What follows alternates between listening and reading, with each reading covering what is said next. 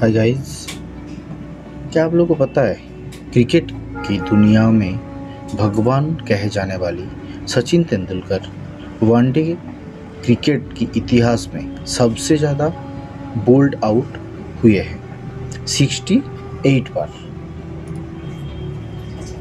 Fact number two क्या आप लोगों को पता है वीवीएस लक्ष्मण ऐसे एकमात्र खिलाड़ी है जिन्होंने कभी कोई विश्व कप मैच नहीं खेले हैं, लेकिन उन्होंने सौ से अधिक टेस्ट मैच खेले हैं। फैक्ट नंबर थ्री क्या आप लोगों को पता है, मुथिया मुरलीधरन, जो कि श्रीलंका के खिलाड़ी हैं, इन्होंने वनडे मैच में सबसे ज़्यादा विकेट फाइव थ्री फोर लिए थे और टेस्ट में 800 विकेट लिए हैं। फैक्ट्स नंबर फोर पहली बार शतक बनाने का रिकॉर्ड इंग्लैंड की बल्लेबाज डेनिस एमिस के नाम है। इन्होंने 103 रन बनाए थे। फैक्ट नंबर फाइव 1987 में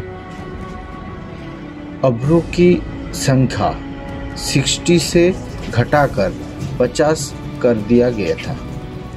इस वर्ल्ड कप के भारत और पाकिस्तान द्वारा संयुक्त रूप से मेहरबानी की गई थी और दोनों ही देश में दिन में होने वाली रोशनी के कम समय के चलते हुए निर्णय लिया गया था। क्या आप लोगों को ये सारे फैक्ट्स पता था? अगर पता था तो ज़रूर कमेंट करके बताइएगा। अगर नहीं पता था, फिर भी कमेंट करके बताइएगा। और मेरा चैनल को शेयर सब्सक्राइब करना मत भूलिएगा और ज़रूर लाइक करिएगा। फिर से मिलते हैं दूसरा एक फैक्ट्स वीडियो लेके। Thank you